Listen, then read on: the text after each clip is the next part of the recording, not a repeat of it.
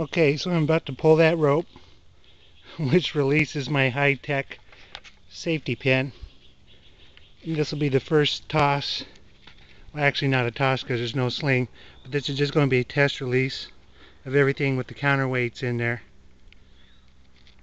To the bottom of the counterweight box is about five and a half feet above the ground. Okay, let's see what happens.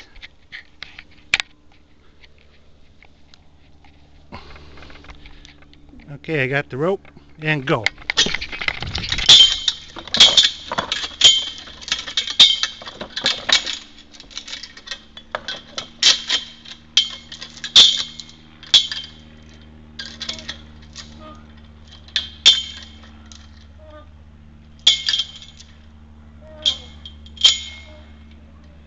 No, I think I'm going to add some length to the rope so I can stand back a little further and get everything in the entire frame all in all, that seemed to be okay.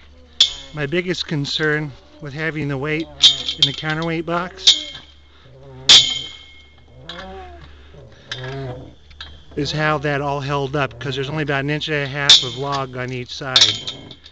That white stuff you see there is lithium grease. That's inside that pipe.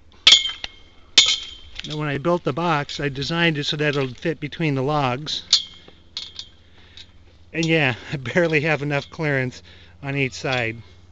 I would have to declare this test a rousing success.